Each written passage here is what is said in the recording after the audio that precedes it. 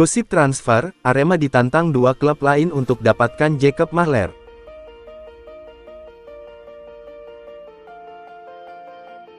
Arema dikabarkan tengah mendekati gelandang Madura United, Jacob Mahler untuk Liga 1 2024 per 2025. Namun, kabarnya, Arema ditantang dua klub lainnya untuk bisa mewujudkan proses transfer tersebut.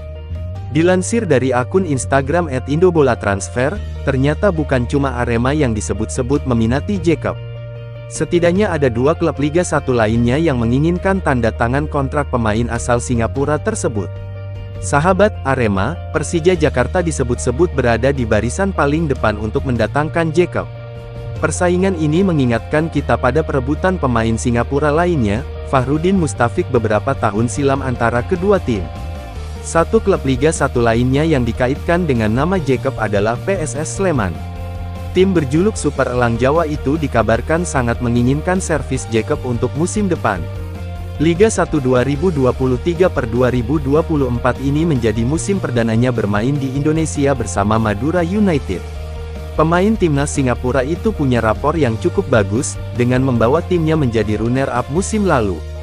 Pemain berusia 24 tahun itu melakoni 34 laga bersama Sapeh Kerap dari regular series hingga championship series.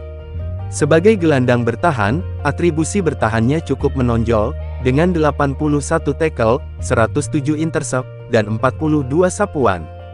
Jacob pun punya atribusi menyerang, seperti 10 tembakan yang dilepaskannya. 5 tembakan di antaranya mengarah ke gawang lawan, dan satu tembakan yang menjadi satu-satunya gol Jacob untuk Madura United. Namun, gelandang berdarah Denmark itu tercatat sebagai kolektor kartu kuning di timnya, dengan raihan 10 kartu kuning.